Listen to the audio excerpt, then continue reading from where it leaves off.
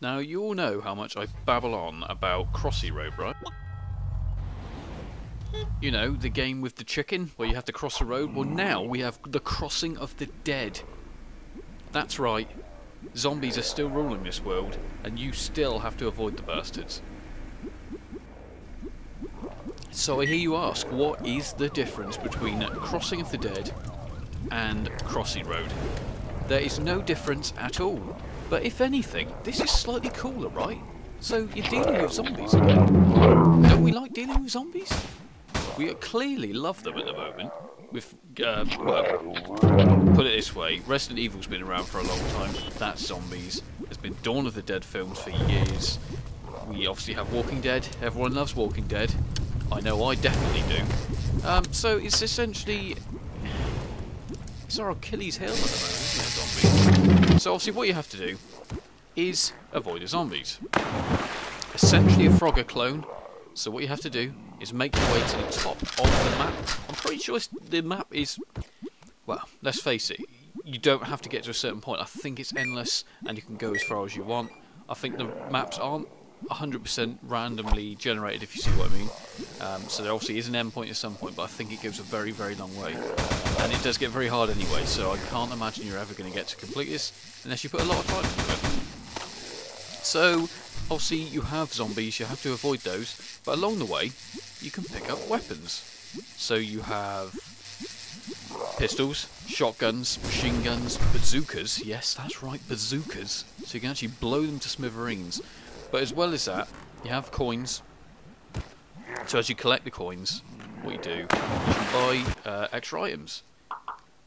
And what can you do with those extra items? As you can see right here, you can buy a chainsaw, you can buy weaponry, you can upgrade things, um, as well as these, not loot crates, I'm not sure they're called loot crates anyway, um, but these crates where you basically get a random item in it. So you're essentially gambling. Um, it's called loot rates. Yes, loot crates. I, I thought it was. So as you can see, I it cost 80 coins. I got 50 out of it.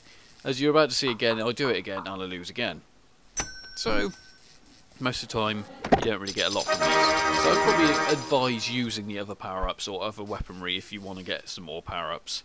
Uh, or, sorry, a better weaponry, a better arsenal to take down those zombies because at the end of the day they are, are an annoyance and it is easier just to uh, shoot the fuckers. And they are pretty stupid as you just saw. They walk into cars. Yeah they are that stupid. So along the way because everything's destroyed anyway you've got to avoid everything else like fires, buildings falling down, electrical pylons which will electrify you. Make sure you avoid those and that's really it. That's the game in a nutshell. You just have to make your way up and uh, get as far as you can. Your, your score will be in the top left-hand side of the uh, screen. Top right-hand side of the screen is the amount of coins. So that's where you'll be able, like I said, you'll use that as your currency to upgrade your weapons, etc. Or speed up the movement of your uh, little guy. I don't. What should we call him?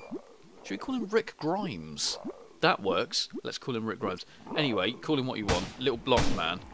Um, that's what we'll call him. Minecraft ripoff. How about that? Yeah? We all agree with that? Um, so obviously, the goal of the game is literally just to get as far as you can, get high up onto the scoreboard. There's, as far as I'm aware, there's no ending to this. It is continuous. Um, but it's a bit of fun, and it doesn't really cost... It, it was free.